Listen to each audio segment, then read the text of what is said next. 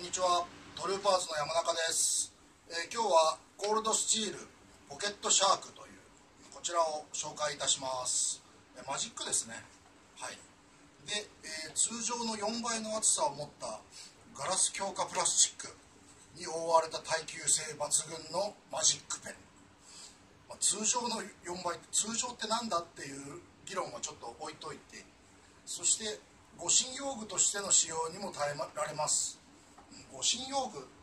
あんまりこう護身用具護身用具って言っちゃうとこう、うん、よくないのでなんていうのかなあのうちではあの特にねあの足つぼやらつぼ押しに最適ですっていうことで一生懸命押しておりますけどデザインとしてはこんな感じ。ね。はい。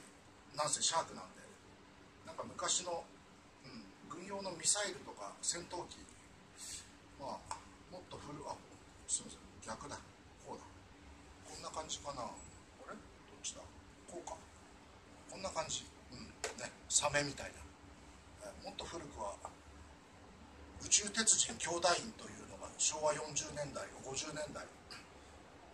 まあそれは、まあ、大体40歳以上の人じゃないと分かんないのでそれもまた置いといて。で BDU のペンポケットまたは装備のモールに挿して雰囲気アップを楽しめるアイテムです。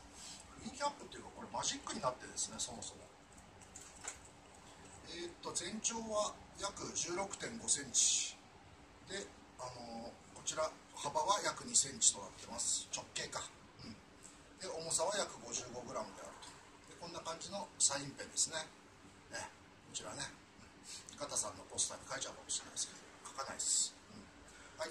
でこのように丸回してキャップをして、えーこちらの2センチというサイズがこちらモールモレーモーリーなんでもいいんですけどこのようにさせるわけですなちょうど、うん、こんな感じで使えるのであのーまあ、もしあのねあのサバゲーのアイテムサバゲーやってる最中にもなんかこうなんかこうね荷物の検品とか在庫チェックとかそういうのあったらその場でこうシートに書けると書かないけどね、はいまあ、そういうわけであのポケットシャークコールドスチールの商品下の方にあのリンク貼っときますのでわけわかんないこと ばっかり言っててすいません。